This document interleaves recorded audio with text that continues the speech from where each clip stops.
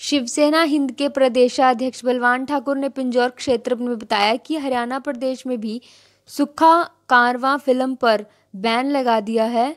हिंद के प्रदेशाध्यक्ष बलवान ठाकुर ने बताया कि एक एडवोकेट द्वारा पंजाब एवं हरियाणा हाई कोर्ट में सुखा कारवां फ़िल्म पर बैन लगाने के लिए याचिका दायर की थी, क्योंकि ये फ़िल्म किसी देशभक्त जवान पर फ़िल्म न बनाकर, एक बदमाश पर फ़िल्म बनाई गई थी, जिसका गलत असर आजकल की युवा पीढ़ी पर पड़ना था और हाई कोर्ट ने इस पर जल्द सुनवाई करते हुए इस फ़िल्म पर बैन लगा दिया है।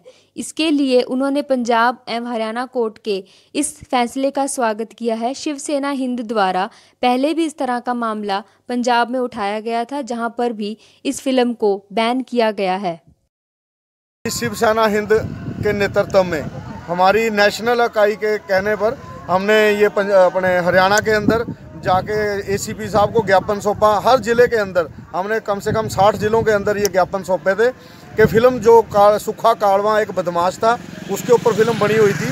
वो कोई इतिहास वो इतना कोई देशभक्त नहीं था जो फ़िल्म बनाने की ज़रूरत पड़ी।